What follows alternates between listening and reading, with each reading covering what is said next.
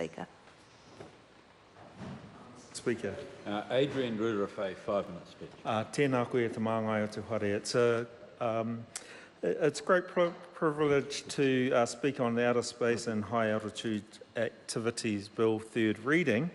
Um, and uh, first of all, I just want to, uh, like a number of uh, colleagues in the House, acknowledge again uh, Rob, uh, Rocket Lab and in particular the CEO Peter Beck and his entire team for their tenacity, their innovation, uh, and drive to uh, get the, the project to where it is today, uh, which of course requires that we have some legislation to allow that to happen. And uh, just briefly speaking on the purpose of the bill, uh, which is, um, as others have noted, uh, to facilitate the development of the space industry in New Zealand uh, to also uh, implement our international obligations, uh, which are many. And I, also want to touch again, as I did the, at the committee stage, uh, around um, uh, the peaceful purposes uh, for.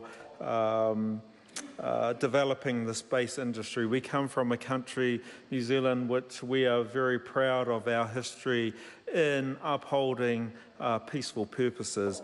Um, I uh, understand those particular word, words weren't used, but there is nonetheless some strong um, um, changes that have been made to the uh, to the bill uh, to ensure that uh, uh, these uh, space um, adventures, might I say, cannot be used for um, uh, for war, for creating, um, for nuclear weapons and other weapons as well.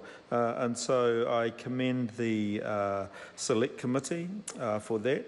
Um, I do also recognise that through this, uh, through the, this bill and through the Rocket Lab initiative, it does create opportunities for the future. Uh, and in particular, I, I certainly hope that there is strong um, opportunities for young people in particular uh, through education.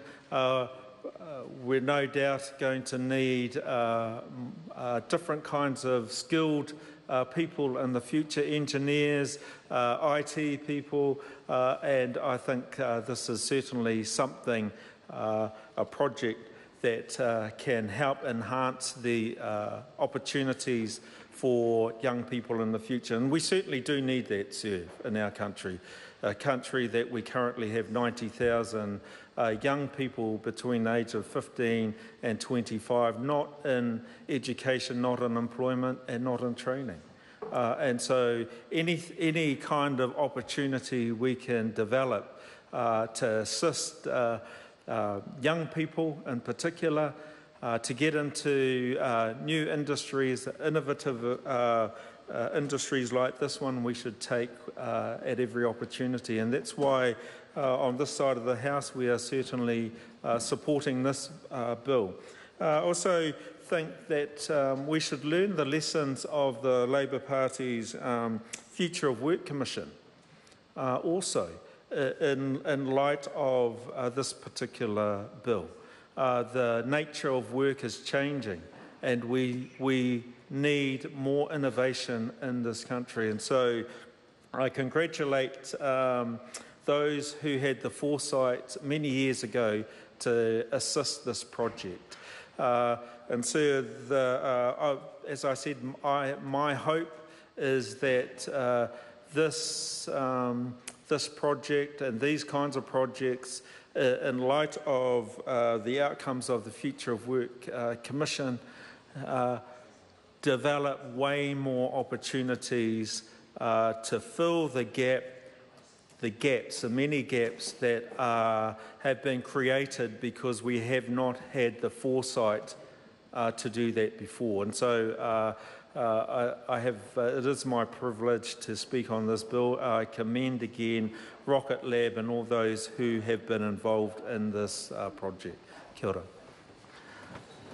Dr. Kennedy Graham. Thank you, Mr. Speaker.